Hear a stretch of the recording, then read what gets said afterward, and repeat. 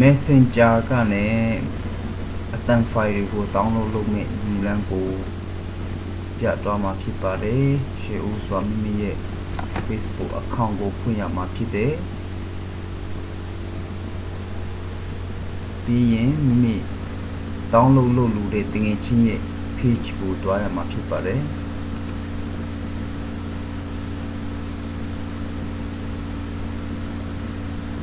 ကိုတငယ်ချင်းရဲ့ page ကိုရောက်ပြီဆိုရင်ဒီအပေါ်နားလေးမှာ double click လုပ်ပြီးမှဒီ www ကို m လို့ပြောင်းပေးရမှာဖြစ်တယ်ပြီးရင်ဒီနေရာကိုနှိပ်မယ်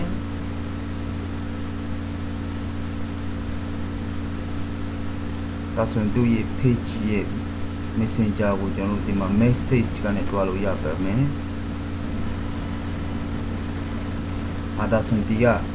အတန်ဖိုင်ကိုကျွန်တော်တို့စ download လုပ်လို့ရပါတယ်ဒီနေရာကိုတွားရင်ဒီမှာ download button